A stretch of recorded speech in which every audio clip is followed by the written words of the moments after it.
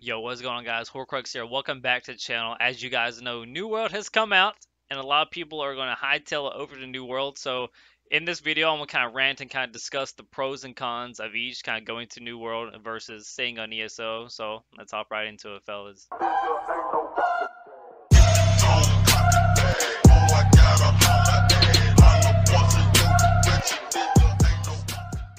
Okay guys, before we get into the bread and butter of today's video, huge shout out to my patrons. You guys are absolutely amazing. This channel is not possible without you. I honestly, honestly mean that.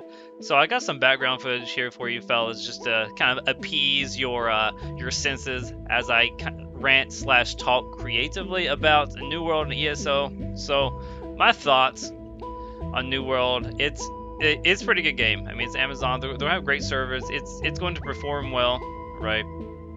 Um, New World, I feel, will not have a lot of variety um, compared to ESO. Granted, ESO is having like seven years of time.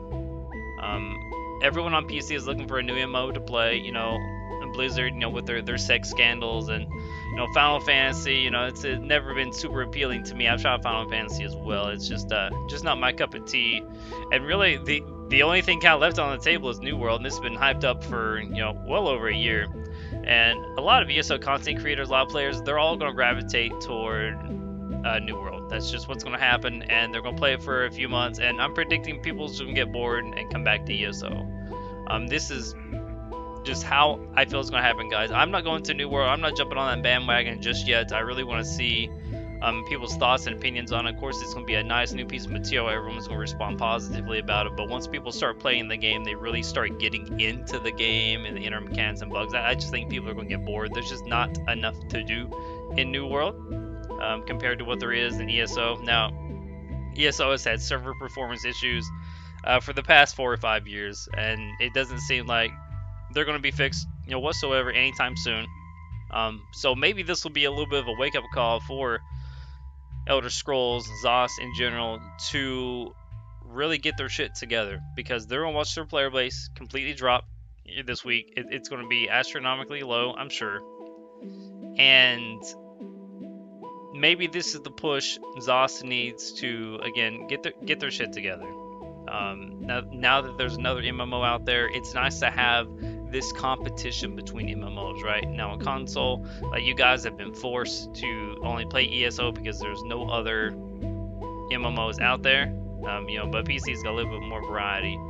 So me myself, again, I, am not going over to New World. I'm gonna stick with ESO and make content, you know, for you guys. The PvP in ESO is probably some of the best, if not the best, uh, combat mechanics I've ever seen which is a huge pro of ESO. That's one of the reasons I still play it. Um, when the game works well, or, or, works in general, it's phenomenal. I love the game. I really do.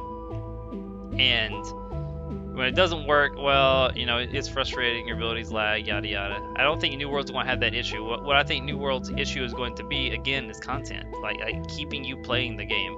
I don't know how it's to be set up. I'm not sure how Amazon or how, any of this is to work. I mean, we'll know here in you know next couple of months. But when it comes to a PvP-oriented uh, MMO, I, I just don't think New World's to be a guys. Uh, I predict probably 70% of the people who go to New World just won't come back to ESO. Um, you know, it's that's everyone, not just content creators, uh, but uh, the general player base itself. It's very team-oriented. New World. Um, a lot of people play ESO uh, aren't really team oriented. You know, they're they're a bunch of solo dolos, you know, lone wolves.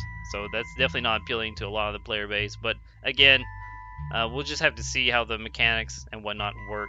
You know, with New World, I may even try it um, a little bit, kind of stream it for you guys, give you my thoughts on that as well. Let me know if that's what you want to see down in the comments. But uh, again, this may be good for ESO. I really hope that ZOS kind of pulls their their stuff together after this. But that, that's what just want to kind of let you guys know that I'm not going anywhere. Don't worry. I'll still be putting out content. Uh, we'll still be covering the PTS.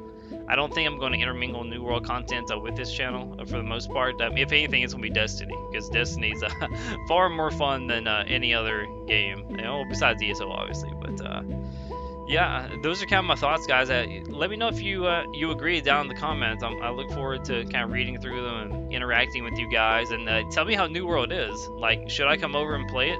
You know, like I really want to hear from you guys. Honest God opinions on whether I should give it a go or whether you guys would like to see that on the channel. I mean, if not, obviously I don't want to put out content on it because you guys are interested in that. So this channel's for you guys. Let's keep it that way. This has been Hoarcrux, and I will catch you all in the next one. Peace.